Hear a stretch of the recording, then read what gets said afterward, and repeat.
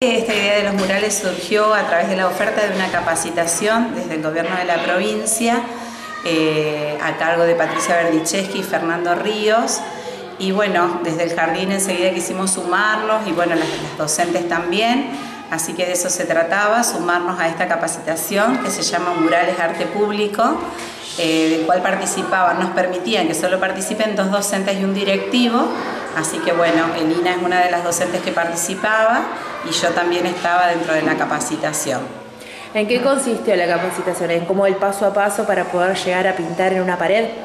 Bueno, sí, yo te cuento un poquito, pero seguramente Lina, que fue la que trabajó con sus, con sus niños y niñas, va a saber especificarte más, pero un poco la idea era aprender a observarlos en primer término. Observar un mural no es lo mismo que observar una imagen pequeña, así que había que tomarlo con perspectiva. Eso hubo que enseñárselo también a los niños y niñas para que puedan eh, observarlo, aprender a dibujar en grandes dimensiones, aprender, aprender a, llegar a un acuerdo para después pintar una pintura en común, así que todo eso llevó un proceso largo, la mezcla de colores, el aprendizaje del dibujo para pintar fondos, bueno, un montón de cosas que fueron pasando a través del tiempo, la capacitación duró todo el año 2022. ¿Cómo fue Lina trabajar puntualmente con los chicos en, el salón? Primero la idea y luego llevarlo a cabo. Bueno, la verdad que fue una idea eh, maravillosa, fue una experiencia que nos enriqueció muchísimo al grupo, a los niños, a nosotras como docentes, porque fue todo un aprendizaje este proceso. Cada pasito que íbamos dando era aprender algo nuevo, tanto desde la capacitación que teníamos, que nos, íbamos iban orientando, eh, estábamos todas en un grupo de WhatsApp, entonces eran continuas las, preguntas, las respuestas que teníamos y también fue eh, el hecho de que había muchos docentes de toda la provincia y entre todas nos íbamos eh, enriqueciendo con los comentarios, con las fotos, con todo lo que iba pasando en ese grupo y todo lo que íbamos experimentando, descubriendo con los niños en las salas. Primeramente se comenzó a, trabajar con los niños eh, mostrándoles, eh, como dijo Marita, murales, hubo un trabajo con las familias en las que recorrieron San Carlos, eh, apreciando los murales que hay en San Carlos, los pintores que, que los realizaron y qué representaba cada mural, porque como dijo Marita, murales son expresiones artísticas públicas, están en lugares públicos donde todos las podemos ver, apreciar y ese concepto había que llevar a que los chicos lo comprendan.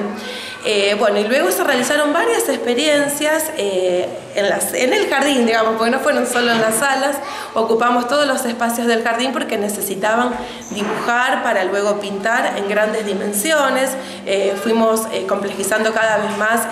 y agrandando cada vez más el soporte del papel, eh, también se, eh, se, trabajó como una experiencia previa a la pintura del mural, el dibujar para luego pintar eh, en equipo, de a dos. Y bueno, y después llegó ya en concreto el hecho de, de crear su propio mural.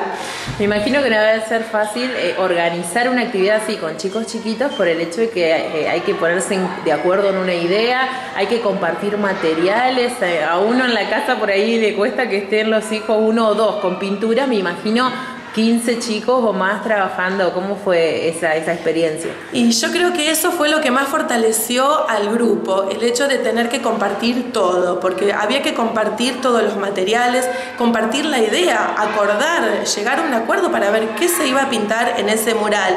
Yo lo cuento desde mi experiencia, pero las otras secciones que también lo realizaron siguieron todos estos pasos. Eh, fueron varias rondas de charlas para acordar la temática y luego de la temática el boceto sobre qué se iba a pintar en base a esa temática elegida. Surgieron muchísimas, muchísimas cosas eh, que ellos iban expresando, que iban queriendo pintar, que iban queriendo hacer y bueno, hasta que se concretó con una temática. Cuando tuvimos la temática que se llamaba El Jardín de Todos, eh, se pensó en qué dibujar, qué iba a representar en ese mural el jardín de todos. Y ahí sí ya se realizó el boceto y bueno, y luego después ya en concreto la pintura del mural.